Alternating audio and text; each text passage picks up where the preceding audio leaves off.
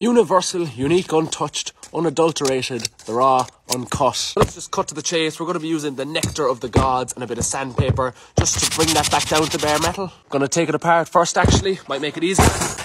You get a big screwdriver and a little spanner. Hammer into place there now. Let's get twisting. Apart at last. See there now under the rust we're dealing with none other than the finest Sheffield steel.